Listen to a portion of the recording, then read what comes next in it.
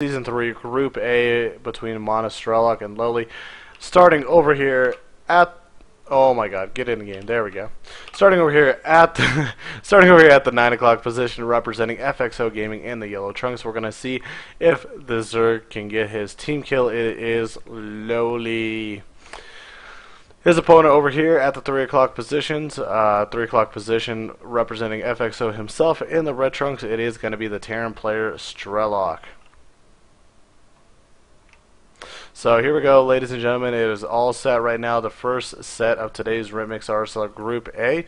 We are having uh, Strelok and Lowely tied up 2-2. We're playing on Abyssal City, one of the newer maps recently introduced by the GSL and the Crux map making team. So really love this map. Really interesting map overall.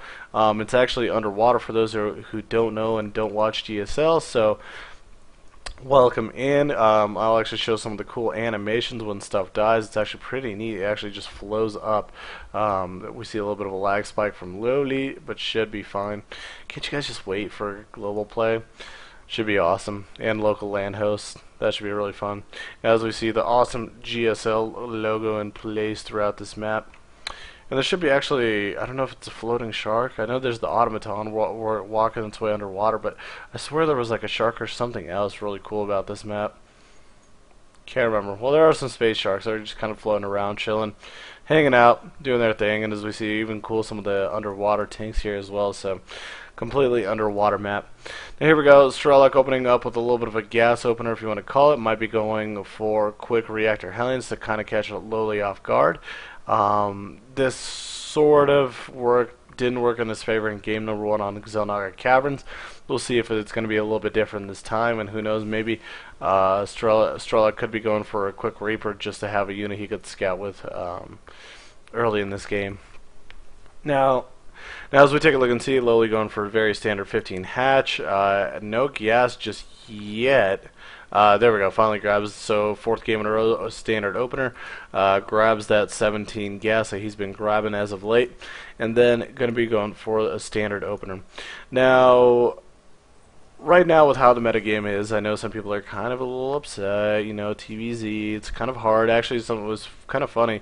Bomb read something this morning about Bomber's comments. He actually is thinking maybe switching races if some of the balance doesn't change in Heart of the Swarm, but you know, I'm actually a little bit excited. Yesterday, I actually got a chance to check out Heart of the Swarm. Finally, got Mike Bay to key, got to play around a little bit. That's part of the reason why I should have gone to bed a little bit sooner than I did uh, to cast this. But you know, got Heart of the Swarm, got curious, started playing, testing out some of the new units uh, that the Terran player has. For those who don't, I'm mainly a Terran player, but at the moment, just playing random, checking out some of the Zerg and some of the Protoss units. And what I've really liked, um, I actually really do like Widow Mines. Um, still trying to get the full understanding and their capabilities and how to utilize them in composition. At the moment, really helping the Widow Mines are really helping out a lot of the Terrans with um, just kind of turtling and defensive style of play. Haven't really had an opportunity to really utilize them for harass that much. Now on the Zerg end of things, um, of course, some of the new units like the Swarm Host and uh, Viper. Haven't actually had a chance to really utilize either of those. Um, anytime that I've spawned a Zerg, I've actually just used the same composition and it's worked really well. Um, I want to try out the Swarm Host, but I just don't feel like it's a good investment when you've got the option of um, infestors in there, fungals. So until the plans that are kind of being put in place by David Kim, as we saw in the patch notes yesterday, he's thinking about he's thinking about uh, heavily. Well, I don't know if it was quote unquote heavily nerfing the infestor, but until they get nerfed, I feel as the swarm host will get a little bit ignored for a while. So that was just kind of a little bit of the heart of the swarm update on my end. So.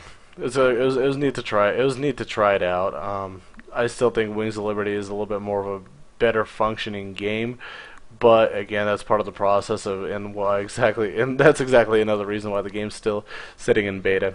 Now here we go. We're gonna watch and see reactor Hellions are gonna be popping out. They're gonna get on in here. There's three queens plus a spine in place, so it might not be exactly one of the best trades for uh, Strelok if he decides to go on in there. Of course, Lowely, how he's been playing. I mean, he's sitting. He's been sitting on a two base economy, so I'm not sure exactly what Strelok was hoping for. If he was hoping maybe if I go reactor Hellions and the Lowely goes for a quick three base, I might have an opportunity to get in there and do quite a bit of damage. But again Lowely grabbing two, quick two base lair. He's getting also his third and fourth gases as his lairs popping out. So this actually might be um, some sort of muta play, some really quick two base muta play. We'll just have to watch and see. Um, he could also go for a little bit quick infestors, but at the moment having a little bit of a little skeptical about it. And wow, actually just deciding to put down a Roach Warren as part of his wall. So I guess playing it safe just in case Strelok does decide to go mech on a map like this. Um, but I mean, hey, you, it is what it is, and oh, going actually for the Hellion drop, very smart. I really actually like this by Strelok being very smart, doing as much damage as possible.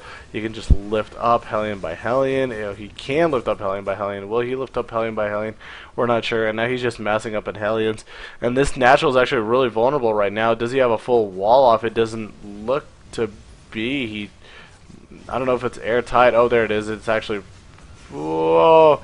Well, now it's going to be airtight with the queens, and I mean, with additional queens and energy, no chance of Strelok going to be able to take them down. All the transfuses are going to keep those alive.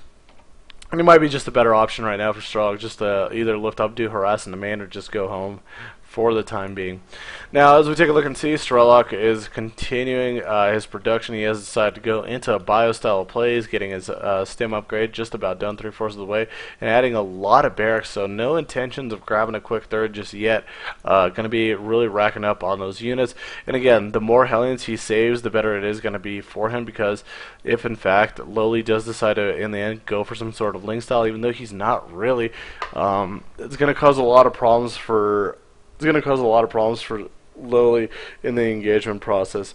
Now, this is something that we're seeing a lot of Terrans do. They're showing a lot of Hellions, and because of that, Lowely does have to react with Roaches, but because of that, that's exactly what Strelok wants him to do.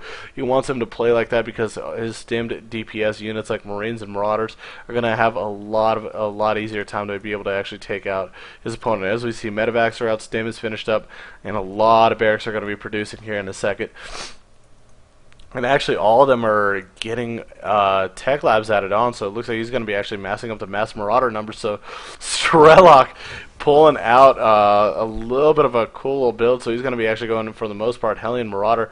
And as long as uh, Lowely has no ability to scout, he's actually going to have quite a bit of issues.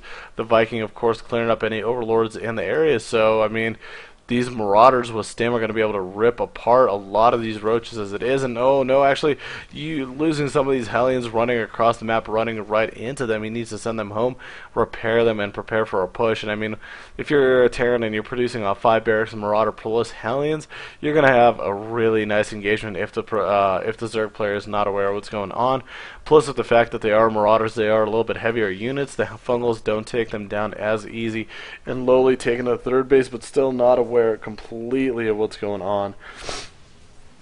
So here we go. Finally, concussive shell finishes up, able to catch one of those roaches, and the game is starting to head across the map over to Lowely's side of the base. And I mean, this has got to be one of those really scary moments for Lowely because he knows this is a lot of damage output, a lot of DPS, a lot of units out on the map. He's going to have to hit some really nice transfuses. He's going to have to engage well and really hope for a beautiful fungal. There we go. That's a good chunk of units, and now he, all he has to do is really just chain that. This is what we're talking about. All these chain fungals, he's got to really chain everything to death because the Marauders do not die as fast, but because of beautiful fungals, he's going to not only be able to hold off, but maybe even potentially push this back um, but again, Strelok just continuing to rally, continuing to heal up a lot of these units. And I mean, he could continue this push because all these infestors are out of energy. No more fungals are going to be in place for him. But the difference is now Lily being very smart, transitioning into Lings.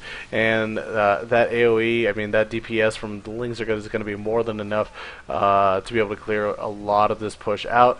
And it looks like not deciding to lift up any of the units, going to just push back and oh my god, Strelok is completely all in, bringing a lot of his SCVs with this. And this might have been something he would have wanted to do a tiny bit sooner um, if he planned to do this sort of all in. But at this point, uh, Strelok kind of just lost the game right then and there, pulling all of his economy. All these units are.